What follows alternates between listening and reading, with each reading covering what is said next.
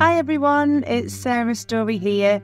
I was born um, without the, the use of the majority of my left hand. I do have a small wrist. I actually got into cycling um, when I was 27. I met the cycling team during the games in Athens.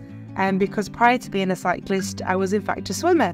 And I competed in four Paralympic Games as a swimmer. In the early part of 2005, I ended up with um, some ear infections, and those ear infections led to me having lots of time out of the water. I was unable to swim, uh, and so during that time, I did a lot more training on a bike, and I eventually raced a bike, and then um, quite rapidly got selected for Great Britain cycling team to compete in the Paracycling European Championships in the summer of 2005. Um, and after a successful event there, I went on to be invited to join the programme.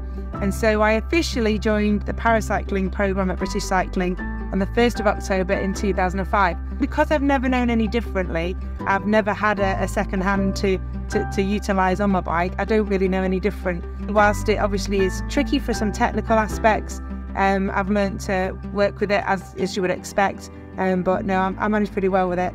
Um, and uh, there's always ways around any kind of impairment.